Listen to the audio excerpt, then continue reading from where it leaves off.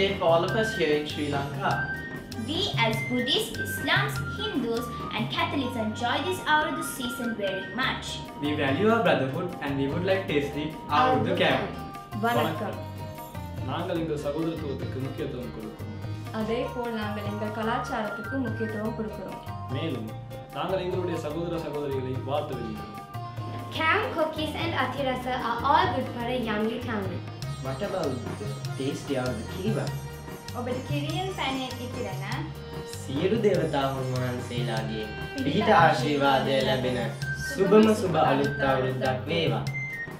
We wish you all a very happy Sinhala and Tamil New Year.